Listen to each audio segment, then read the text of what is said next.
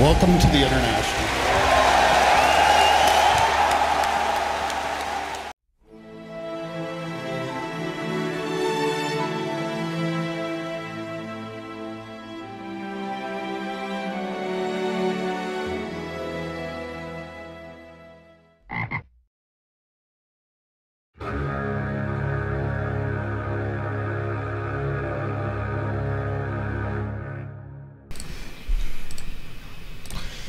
Et bienvenue avec l'Afrogate TV pour un match d'anthologie entre les deux géants européens, Navi et Alliance.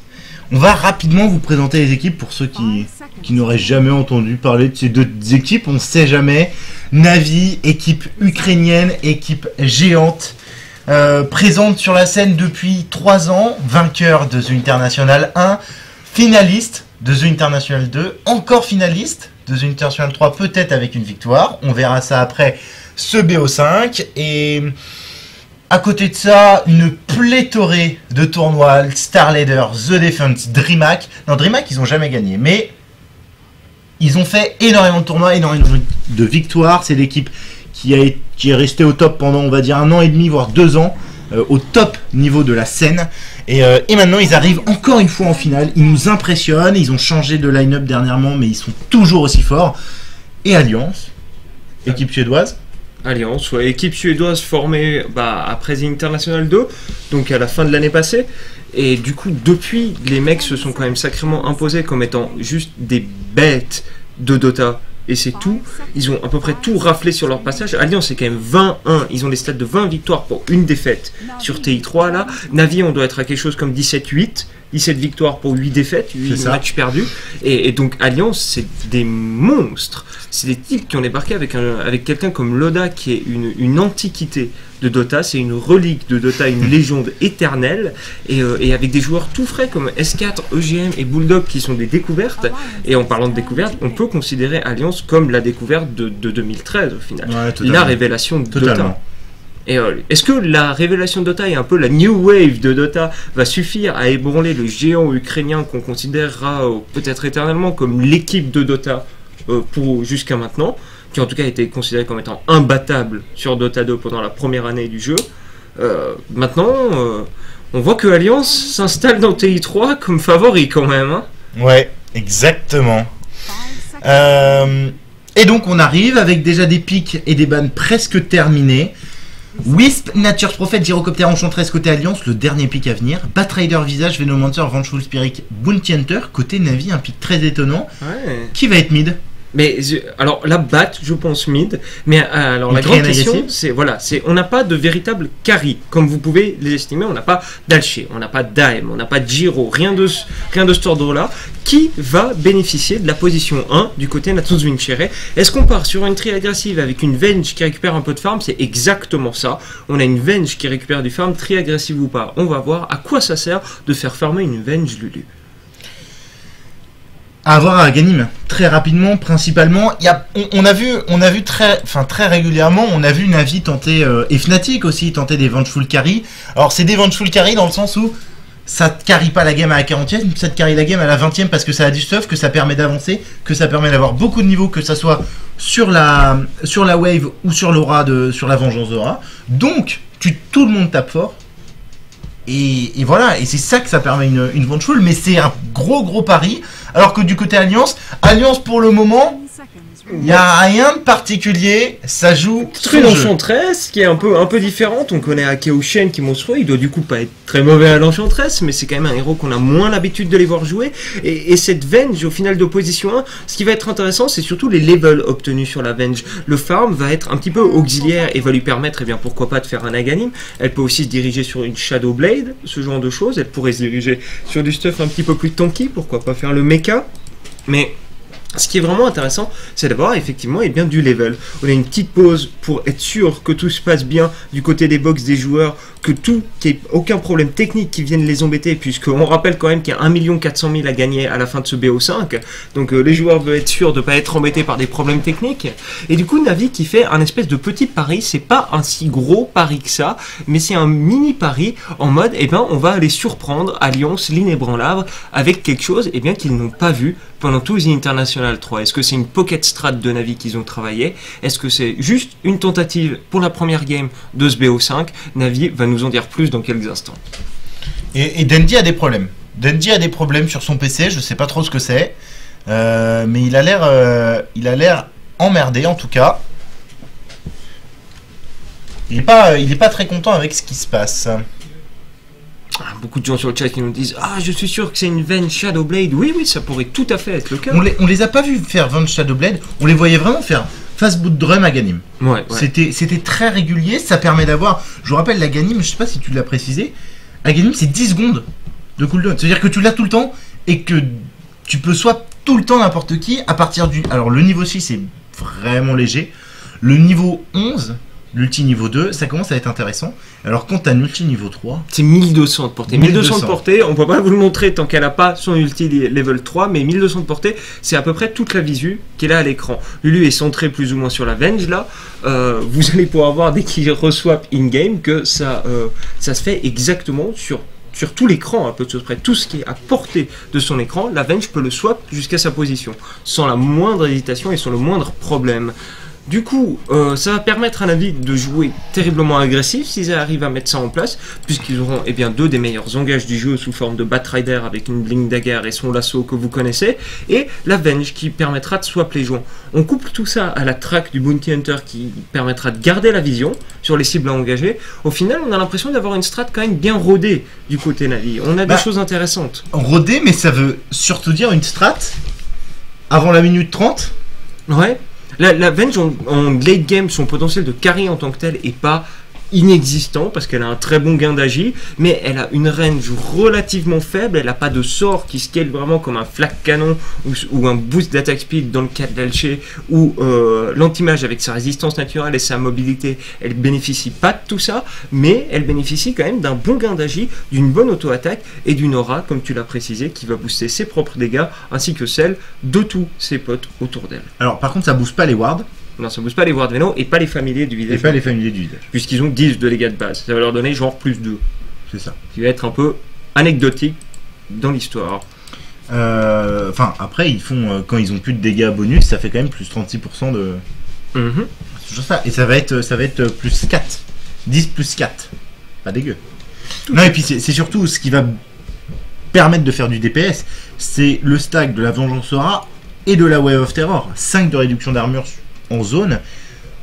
C'est très bien. Et Navi est parti sur au moins 3 agas. Ça pourrait être le cas. Ouais, hein. ils ont visage. Veno Venge Visage. Ouais, Visage est un très bon porteur d'agas. Venos, c'est. Alors c'est bon, mais il aura jamais l'argent quoi. Ouais, surtout qu'il faut, il faut réfléchir. Même que- Visage d'ailleurs. Ouais, il faut réfléchir que s'il y a, un- il y a quand même des, des items qui sont nécessaires avant ça, on pense notamment à un mecha, une urne, pourquoi pas un médaillon, ce genre de choses, ça va être des items qu'il va falloir compléter euh, avant de le faire. On s'est énormément concentré sur le draft de Navi, peut-être quelques mots sur le draft d'Alliance. Du côté Alliance, on a un jeu qu'on connaît, on a Loda qui a son hard carry qui va probablement farmer pour une bonne partie de la game, mais qui va tenter d'intervenir dans la partie en mid-game. On a le Wisp quand même. On a Alliance qui a un Wisp. On n'a pas de partenaire parfait de Wisp. On n'a pas euh, de Chaos Knight, de Ursa, ce genre de choses. Mais on va pouvoir le coupler Il avec est là, le Wisp, hein. Il, est là. Il est dans l'au-delà pour le moment. Et on a surtout une mobilité et une présence globale monstrueuse du côté d'Alliance avec les engages du Clock. Vous vous rappelez de Bulba de Team Liquid qui nous a montré que Clock, ça peut faire la différence en solo mid. Euh, on a donc cette présence globale avec le Wisp et le Nature's Prophet. Donc on peut ramener trois personnes à un endroit quasiment instantanément. Et, euh, et ça va être vraiment violent parce que le potentiel de Navi est démentiel. Potentiel agressif, pardon, de Navi est démentiel, mais celui d'Alliance est loin d'être mauvais également. Ouais, exactement. Mais moi, ce qui- limite, ce qui m'inquiète dans la dans cette partie, c'est Ake. Ake, il va avoir tellement de mal à suivre son équipe qu'il va être partout à la fois. Le clock, il peut faire des jumps de 40 000 km. Et Et et bah lui, il va avoir du mal à suivre quoi. Tout à fait. Tout à fait. Mais ça, ça nous ferait probablement une game active, hein, parce que Navi joue, bah, on l'a dit plusieurs fois, sur un, sur un espèce de pari, quoi, une strat quand même très early to mid game, et Alliance en face a des, a des arguments aussi là. Vous vous rappelez de, de la game de Alliance contre. euh, ah, contre je ne sais plus qui, où Alliance s'est retrouvé à devoir jouer terriblement défensif pendant quasiment la totalité de la game sous la pression appliquée par l'équipe en face, mais défensif avec une sérénité monstrueuse parce qu'ils n'avaient pas d'argument pour prendre des fights, alors que là, euh, là c'est différent. On n'a pas de gros héros de teamfight dans un draft comme dans l'autre, on a peut-être peut-être que le Veno est le meilleur héros véritable de teamfight qu'on a sur, euh, sur les 10 héros là, euh, avec, le Giro qui a aussi une bonne panoplie d'AOE et un bon contrôle de fight, mais, euh, mais donc on va, on va probablement se diriger sur pas mal d'escarmouches, et comment est-ce que vous contrez les, escarmouches et les, pics qui vont chercher des solo kills, vous les contrez en restant à 5, et du coup on va peut-être avoir bien des teamfights bourrés de héros euh, d'escarmouches, ce qui va rendre des choses un petit peu étonnantes. Bon, et bah Dandy qui qui vient de se reconnecter. Je sais pas trop ce qui, se, passe. On a combien dans la Dota TV On est à 180 000 déjà en chat spectateur. Attends, on va l'activer. Ça parle pas du tout. Ils, nous avaient parlé une fois de pouvoir avoir les, euh, micros dans les booths des joueurs depuis la Dota TV qui prévoyaient de faire ça un jour ou l'autre et euh, ça a été ça a été dit quasiment au début de Dota 2 quand ils avaient sorti les premiers tools de euh, de spectateurs et, euh, et ça serait assez intéressant de les avoir au plein milieu d'un teamfight ou à la fin d'un teamfight pouvoir switcher sur, euh, sur les micros des, des équipes et entendre, entendre ce qu'ils racontent et. Bah, le problème, ça peut se faire à Unity International 3, mais c'est tout. Ah oui, c'est tout, c'est tout. Mais vraiment pour TI, ils disaient. oui. D'accord. Parce que sinon, oui, effectivement, la prise d'information est trop grande. Mais Puis même, même au-delà de la prise d'information, les équipes vont pas activer leur micro dans la Dota TV, tu vois. Enfin, ce serait vraiment étonnant qu'ils se parlent par, la Do- par Dota alors qu'ils ont TeamSpeak, euh, Skype, Ventrilo, ce qu'ils veulent. ah, complètement, ouais. Ouais, donc, Mais euh, à International, on pourrait imaginer d'avoir le, le serveur qui est euh, connecté à la Dota TV ou un truc du genre, ça pourrait fonctionner. Et, euh, ça serait assez marrant. Alors du coup, Phoenix, il va être contre Bulldog. Donc ça va être Nature's Prophet contre Bounty Hunter. Ah, ça va repartir. Alors un duel Nature's Prophet Bounty Hunter, c'est assez C'est équilibré, étonnant quand même, comme duel, ouais. Le, S'il y en a un qui peut tuer l'autre, c'est vraiment le Bounty Hunter qui Ouais, peut c'est tuer ça. Nature's Prophet. Mais sinon, enfin, au début, je Il pense lui- que il le lui poule. Prophet. Ils l'ont pull, donc euh, il start quand même avec un Poorman Shield qui va pas mal l'immuniser aux auto-attaques euh, du Nature's Prophet, qui va donc rendre la race très compliquée pour Bulldog, mais euh, et Bulldog lui qui devrait start avec, bah pour le moment il a pas d'item, donc on sait pas avec quoi est-ce qu'il start Bulldog, mais il va start avec des items. Il est en train d'essayer de scout euh, avec ses tréants comme d'habitude. Il- est où son deuxième tréant? Il est ici. 30 seconds to battle.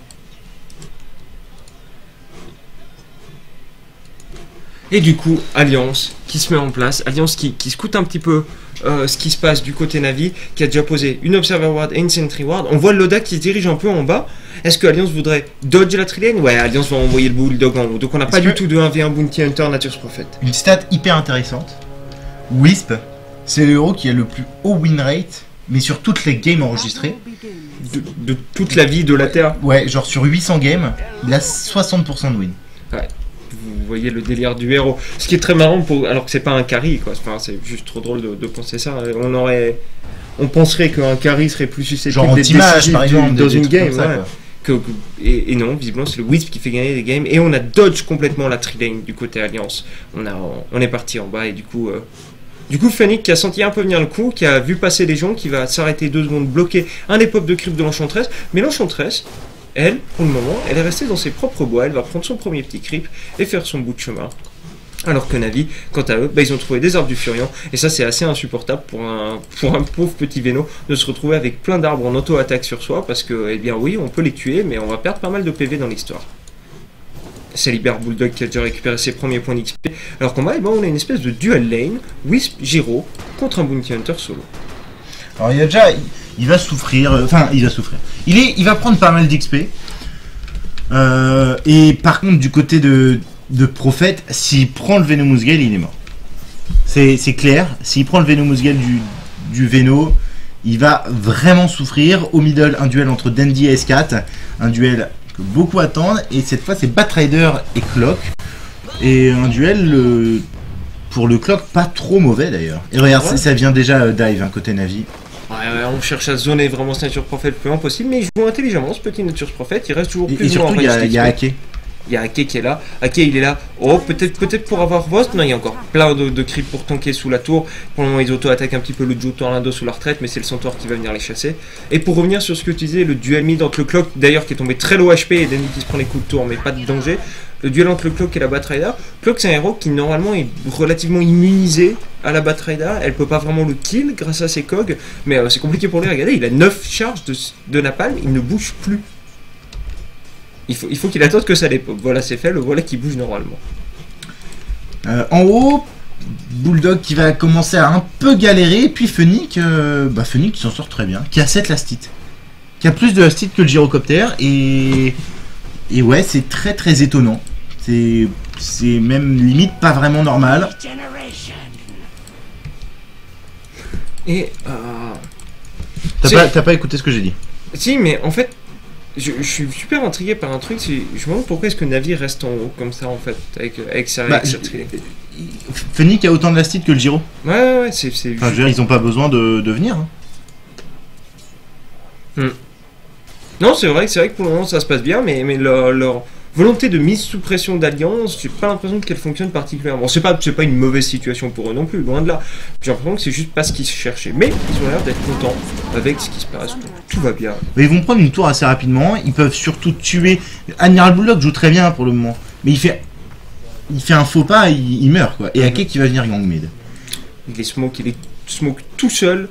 Le clock, dans quel état est-ce qu'il a Il a 4 charges de napalm pour le moment, donc c'est pas une situation idéale pour lui. Il mettra trop de temps à arriver au corps à corps de la Batrider. Et puis surtout, elle, elle va être sous sa tour. La bottle qui vient de revenir et Dandy qui va pouvoir euh, bah, se remettre bien. Et je pense que Ake directement va reculer. Euh, ça va être très compliqué euh, de tuer cette batte. Peut-être envie d'essayer de sauver la tour en haut, ok Parce que la tour, là, sur 7 vagues de creep, elle serait susceptible de tomber. C'est une vague de creep qui possède une catapulte. Donc, euh, c'est probablement la vague de creep que Navi attendait pour pouvoir euh, mettre la pression finale. Elle a deux creeps, cette enchantress. Elle a un Centaure et un Elber Smasher. Euh, Il y a un greffe shield à dispo sur, sur Kuroki. Avec- alors que c'est parti, on va pardon sur Phonic, on a craqué de la DOS, on lui a mis le coup de tétère, le premier coup de rocket barrage, le deuxième coup de rocket barrage repop maintenant, et il va tomber. Le First Blood lors de cette finale en BO5 pour 1 400 000 est à l'avantage d'Alliance sur nul autre que Loda, le joueur suédois. Ouais, un First Blood qu'on n'attendait pas. Alors faut dire que c'est un bounty hunter qui peut facilement se faire euh, se faire avoir surtout avec le coup de TTR. Vélo Hunter qui va se faire un peu harass sur le sur le Elbert Smasher de de Hake, mais Phoenix lui euh, c'est pas dramatique. Euh, il récupère quand même beaucoup d'XP et surtout il va pouvoir bouger et laisser une safe lane tranquille. De toute façon Navi, dans tous les cas, ils ont aucun carry à mettre sur la safe lane. Complètement.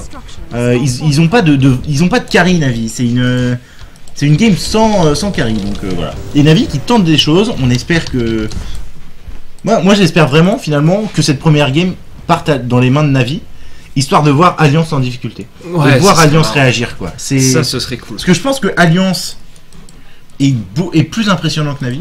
Et je pense que Alliance a, a- a plus de chances de gagner cette finale. Mais voir Navi remporter cette première game, ça pourrait être vraiment sympa. Et, et surtout que Alliance n'a jamais été en difficulté Voilà, dans c'est tout ça. ce tournoi. C'est ce que j'ai expliqué tout à l'heure. jamais, euh, ils ont jamais rien révélé. Ils ont Voilà. montré qu'ils pouvaient jouer leur jeu et gagner. Mais jamais personne n'est venu leur embêter leur jeu. Donc euh, ça serait peut-être le moment de forcer ces Suédois à, à- à changer ce qu'ils ont fait pendant tout le tournoi. Ce qu'il faut faire attention pour Navi là. euh, alors la tour va probablement tomber. Il y a Bulldog qui est toujours dans le coin, qui est niveau 5, hein, qui, qui explique très très bien. Euh, ce qu'il faut faire attention, c'est le niveau 6 de Wisp et Giro. Parce que. Mhm. Parce que là, bah, ça débloquerait bêtement d'autres choses. hein. Ouais, Et, et ça, c'est ce qui est assez intéressant en arrivant à coller ce Wisp dans une dual lane. Bat quand- Rider hein, qui Ouais, va se faire ouais. go S4. Ouais, elle va passer au- au-dessus des cogs. Et Dandy, pour le moment, va être complètement safe. Ah, il est pas en bon état, il a plus de mana, mais bon, il vole euh, par-dessus les arbres, tout va bien pour lui. Il va dodge les petits crips de l'enchantress sur l'auto, il va prendre un petit clap supplémentaire au passage. Mais oh, under un deuxième petit clap, oh ouais, ça commence à faire pas mal de dégâts. Les roquettes du clock, quelle level est-ce qu'elles sont Elles ne sont pas maxées, donc ça suffirait pas pour tuer Dandy. Et sa bottle qui vient de revenir. La tour qui va peut-être tomber enfin. Bulldog qui est rentré à la fontaine. Qui a des bottes. Euh, Phoenix, lui, il est niveau 5, il va bientôt passer niveau 6. Ça va vraiment bouger sur ces, euh, sur ces différents, euh, différents niveaux. Et par exemple, EGM, alors EGM, il est pas en danger. EGM est vraiment pas en danger étant donné qu'il a le TTR. Et ouais, donc euh, ce qui est intéressant en arrivant à coller ce, ce Wisp dans une dual lane, c'est que bah, il bénéficie de beaucoup d'XP pour le coup. Et du coup, il va être 6 sur un timing tout à fait correct pour un support. Il va être 6, on va dire, aux alentours de la minute 7-30, peut-être. Quelque chose du genre. Navi qui s'est débloqué la première tour en haut, on savait ça arriverait et c'est fait. Et voilà, en possession de la première tour de la partie qui rapporte eh bien 1000 gold à toute l'équipe. Pas 1000 gold à chaque joueur, mais 1000 gold en total à toute l'équipe. Et, euh, maintenant, alors, à partir de là, c'est là que la situation se complique un poil pour les Ukrainiens. C'est comment est-ce qu'ils euh, comment est-ce qu'ils transitionnent derrière ça Une fois que la tour est prise là-haut, est-ce qu'ils essayent d'investir des bois et du coup ils gardent deux personnes en permanence là-haut et, euh, ils continuent à push Est-ce qu'ils essayent de contrôler la lane en arrière, ce qu'ils ont l'air d'être en train de faire, donc essayer de faire reculer la lane Ou, ou est-ce qu'ils abandonnent cette lane un petit moment et qu'ils essaient d'aller gank ailleurs C'est un peu les trois possibilités pour Navi. Bah, surtout qu'ils ont. Enfin, ils sont forts dans les trois possibilités. Moi, j'aimerais vraiment qu'ils viennent mettre de la pression avec notamment Velomancer et. et... Et Vengeful Spirit qui sont des bons héros. Et regardez, c'est euh, les Fast Boot qui sont arrivés, probablement Aquila par la suite pour Venge. Alors que. euh, Alors que Phoenix, lui, il est passé 6. Alors il est monté à 19 last hit et vous pouvez voir que depuis quelques temps il ne ferme plus du tout. Yep. Effectivement, depuis un moment, bah, depuis qu'il a pris ce first ball, l'arrivée de la dust sur le Wisp euh, l'a quand même sacrément calmé, ce petit Bounty Hunter. Ils avaient, ils avaient une sentry, hein. et regarde, ils vont arriver à 4 alliances. Ils vont arriver à 4 alliances, à 4 en bas, pardon. Euh, est dans le coin, qui va se... Il faut faire attention au chicken, et Ake qui va peut-être... euh, ouais, qui va prendre un petit coup de poke. Oh bah, c'est pas de chance pour Phoenix. Le heal qui est forcé, et, euh, qui va euh, tranquillement s'en aller. Et ça c'est intéressant d'avoir forcé le heal, c'est beaucoup de cooldown, beaucoup de mana utilisé, un petit coup de bottle. Pendant l'invisibilité. Ils vont essayer d'y aller, le Greyfield, il y a un DD sur S4, ça peut être très dangereux, le sous Assumption, et c'est un deuxième kill qui va arriver dans cette game, mais le premier pour Navi. Phoenix qui s'est fait défoncer, il était coincé en plus avec le Elbert Smasher, Kuruki au milieu, coincé dans le sprout, il va réussir à s'en sortir. Il a mis un Greyfield sur Clockwork qui est bien ralenti, Dandy qui est au milieu, Luchik qui va être posé sur ce Whis, mais il prend beaucoup trop de débats, dégâts pardon, et Alliance, qui s'en sort très bien, deux kills. Ouais, la- l'arrivée de Loda dans le fight là qui change tout. Dandy ils se sont safe à un moment, c'est peut-être pas terminé. Ça lag énormément. hein. Ah, la la, Dota TV, euh, la Dota TV nous, nous fait, bah regardez combien est-ce qu'il y a de viewers sur la Dota TV 213 000 in-game. 211 000, ouais. mais il y a- il y, en a eu plus tout à l'heure, mais euh, j'ai l'impression qu'ils ont un petit souci de serveur.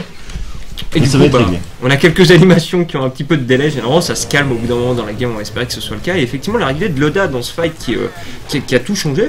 Parce que, euh, eh bien, euh, était safe, Dandy était tranquille en mode je vais pouvoir leur foncer dedans et les massacrer à grands coups de feu. Et non, Loda est arrivé à poser le cooldown de Rocket Barrage. Et, et Dandy est rentré la queue entre les jambes. hein. À la fontaine, allez simple. Et du coup, Navi a abandonné la lane en haut. Et moi, c'était ça ma peur. Que- Qu'est-ce qu'ils font maintenant? Qu'est-ce que tu les vois faire maintenant, concrètement? Euh... Ouais, c'est compliqué d'enchaîner. Ils peuvent enchaîner sur la tour en bas, mais au bout d'un moment, il va falloir réussir à gang. Il faudrait absolument. En fait, il faudrait une dagger sur cette batte. À partir de la dagger sur la batte, ils vont pouvoir push à 5, quoi. C'est ça qui va être intéressant. Mais avant. Avant, ça me paraît un tout petit peu, un tout petit peu compliqué. Kuroki qui part sur un mecha. Du côté Alliance, on a notre Clockwork qui est pas trop mal. 38 lastite contre 40, au même niveau que la batte. Wisp, il est niveau 6. Et Loda, il farm très bien. Il part sur quoi? Il part directement sur BKB. Euh, Bulldog, je pense qu'il est pas très loin de sa Midas. Mais il a fait Power Trade, il a pas fait Midas. Il avait deux- presque 2k gold. Ok, ça c'est intéressant à savoir. C'est euh, assez intéressant à se rendre Et, compte. il fait mecha d'ailleurs. Il, il va faire un rush mecha Mhm. euh, sans Midas. Ça me rappelle le, le Hunter Prophet des Tong Fu, je crois. Non, c'était LGD, c'est Xiaowei qui avait fait ça. Peut-être, peut-être, ouais, c'était peut-être plutôt Liquid. mais- Et ce qui s'était passé au final, c'est que euh, il, il était très utile en teamfight, mais il s'est fait farmer toute la game parce que bah, en solo, il faisait absolument pas peur du tout. Shadowblade tardive, etc. C'est peut-être ce qui va arriver à Bulldog, mais en tout cas, ça montre que Alliance a peur de l'agression Alors, non, moi je me souviens d'un d'un Nature Prophet euh, qui, qui se faisait pas spécialement farmer, qui était parti dans les bois, mais qui avait fait euh, un rush mecha, qui avait pas du tout fait euh, Midas, mais qui était quand même premier au Networks. Ah d'accord. ouais, complète- ouais. Mais il me semblait que c'est. Je crois que je l'ai cast avec Hugo, peut-être que Hugo se souviendrait, mais Mm. c'était c'était assez impressionnant. Et, Mais, euh, et alors, le, le mecha, par contre, sur Natus Prophet, il montre que Alliance est un peu inquiété par l'agression de Navi. Parce qu'ils ils ont besoin. Ils pourraient dire bah écoute, Wisp, on chante, tu feras mecha euh, quand tu pourras, quoi. Si ça arrive à la 28ème, ça arrive à la 28ème. Non, là, ils, ils sentent qu'ils ont besoin du mecha et du heal de 250 HP qu'il apporte. Ils sentent qu'ils vont en avoir besoin bientôt.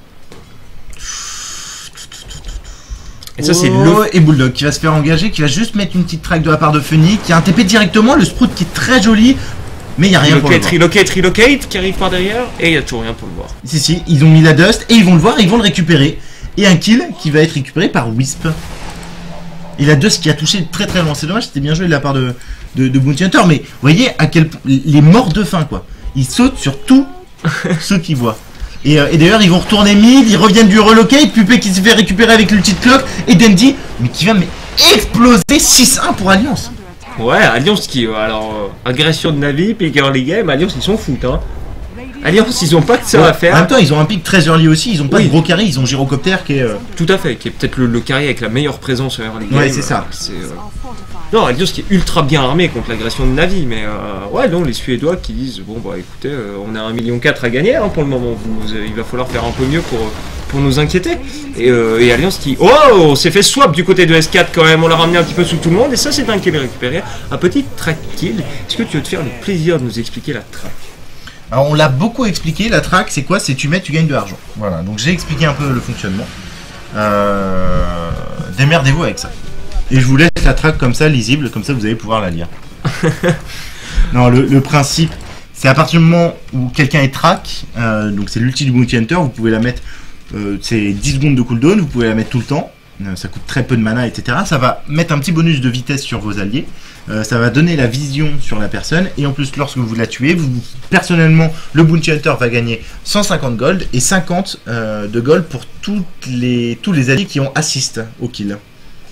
Donc c'est extrêmement intéressant, ce qui veut dire qu'au final, euh, concrètement, tous les trades de kills de 1 pour 1, lorsque un des deux est track par le Bounty Hunter, c'est à l'avantage de l'équipe qui est le Bounty Hunter. C'est ça. Ah, Actuellement, la track niveau 1 ne fait pas un grand effet, c'est 50 gold de bonus en assist, c'est pas grand chose. Mais la track level 3 à 150 gold de bonus, bah vous doublez le bounty d'un kill, en gros. Vous, euh, suivant le nombre de personnes qui sont dans l'assist, et le bounty hunter qui remporte quand même 250 gold bonus lors du kill, ça c'est gros pour lui. Mais sachant que c'est 50 gold de bonus, mais t'as déjà 100 gold par assist, Mhm. T'as aussi 250 gold quand tu tues le gars. Enfin, c'est voilà, c'est une augmentation du bounty et ça t'oblige à kill et c'est vachement intéressant. Et d'ailleurs, on l'a vu sur la dernière game Orange Navy où il y a un bounty. Et genre le même moment, il dit la même chose sur le chat. bah voilà, Voilà. euh, Orange Navy où mais c'était euh, enfin les ont Oh, c'est engagé de la part de S4, mon dieu. Il a trouvé un Vost low HP, ça avait aucun sens. ah merde, Vost qui farmait un mode golem à 2 PV qui, qui s'est fait juste sniper merde. par le clock qui traînait dans le coin. Ok, bon bah c'est pas grave. Pupé lui, il est en train de farmer les anciens. C'est quelque chose qu'on n'avait pas vu depuis longtemps. Et regardez, il fait, il met tous ses wards et euh, Et il attend. et il attend. Et il attend que l'argent arrive. On va faire attention à pas mourir, surtout quand ça- quand 50, 140 HP pardon, et que Et qui a un clock avec des roquettes maxées. exactement. Comme là, s'il prend une roquette, il est mort. hein. Mais ça donne de l'XP complètement gratuite. Il y a la dagger d'ailleurs sur euh, la Batrider. On en a pas du tout parlé, mais ça va être hyper intéressant de voir comment ils veulent l'utiliser. Mais Alliance qui, Là de vouloir faire Alliance. Alors, ils ont les arbres du féron pour tanker, le petit de l'enchantresse, tout va le bien. mecha aussi de le Bulldog. Mecha, ouais, le mecha de Bulldog, ouais, non, ils sont bien armés. Euh, rapidement, au niveau des items, on a parlé de la dagger, de la batte, et euh, j'ai vu une urne apparaître sur le Véno. Il y, a, Et il y a une urne sur euh, Enchantress, non sur euh, Wisp aussi. aussi, oh, d'accord. Et euh, le clock a l'air de se diriger vers un Forstaff ou un under Et le BKB de Loda. Et alors BKB très très tôt. Et ça va être compliqué. Euh, et la- la- le seul truc qui passe, qui passe au-dessus de BKB, alors il y a l'ulti Batrider, et il y a aussi le swap. Mais alors ne swap pas un gyrocoptère. euh, oh, bah c'est parti sur XBOCT qui est encore trop avancé, qui a un swap qui va décider de swap Kuroki qui va se faire mais défoncer à sa place. Surtout que Venge est déjà mort, c'était un très très mauvais swap et ça va offrir deux kills assez gratuits. Bulldog qui va arriver, qui va mettre le sprout sur Pupé, Poupée qui est dans la merde, le cooldown qui va arriver, Dandy qui va essayer de s'en sortir, ça va être très chaud, Bulldog qui prend pas mal de dégâts et c'est déjà un double kill récupéré par Ake et un, un 3-0 surtout. 4-0 maintenant. Oh là ils, sont, ils sont low HP hein, avec, euh, avec l'ulti de, de ça peut être dangereux. Et d'ailleurs, il y, a un- il y a un recall et c'est le GG. sérieux Oh Et c'est le GG qui est annoncé de la part de, de Kuroki. Ok. Et B, Bon. la vie qui a pas fait. euh, Et, et ça, c'est important pour le concours d'ailleurs. Yep, ça c'est important pour le concours, ça va en faire criser plus d'un pour le concours. Une première game à 15 minutes. Ok. Bon, alors, euh, dans, dans le grand tout, il y a quand même 12-2 au kill score. Les mecs ont un draft early game. C'est très difficile de revenir d'une situation comme ça. Navi qui a tenté quelque chose sur la première game, qui s'est pris un mur.